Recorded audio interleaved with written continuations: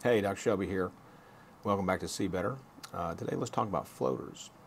You know, those little gnats and things that float around that you see, but they're not really there. Let's take a look at what they are. The center of your eye is full of a clear liquid called vitreous.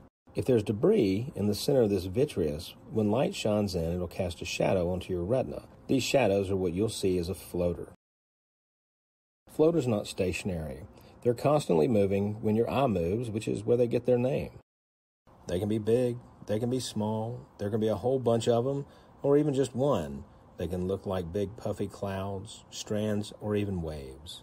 Most everybody has floaters to a certain degree.